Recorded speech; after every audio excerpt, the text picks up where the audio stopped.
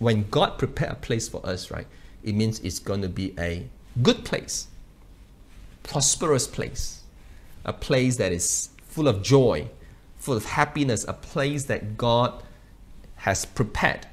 And what is it talking about? You see, what I'm trying to say is if God is leading us, He will definitely make sure, and He prepared a place for us, right? Make sure we arrive to that right place that He has prepared for us. The only reason why we don't arrive to that place that God has prepared for us is when we get on the wrong boat. You see, in our pursuit of success in life, you know, church, listen, don't make sure you don't get onto the into the wrong boat and you arrive to, to the wrong destination.